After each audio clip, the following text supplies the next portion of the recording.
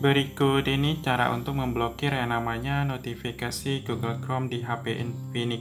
Jadi untuk kalian pengguna Infinix langsung saja berikut ini. Biasanya kan kalau kita dapat yang namanya notifikasi seperti ini.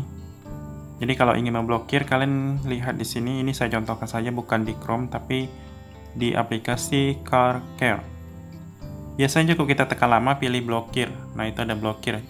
Jadi kalian bisa perhatikan di Chrome atau kalian bisa tekan lama di aplikasi Chrome-nya tekan lama, pilih detail aplikasi, kemudian lihat pemberitahuan. Nah, di sini cari yang namanya situs yang mengirim notifikasi, misalnya aplikasi situs ini yang ngirim notifikasi. Nah, matikan. Atau semua situs juga kalian bisa aktifkan nonaktifkan sekaligus. Seperti itu.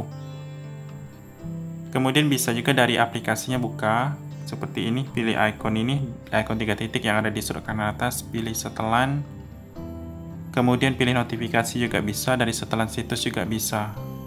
Pilih notifikasi nah ini dimatikan saja supaya situs ini tidak bisa lagi mengirim yang namanya iklan ataupun pemberitahuan.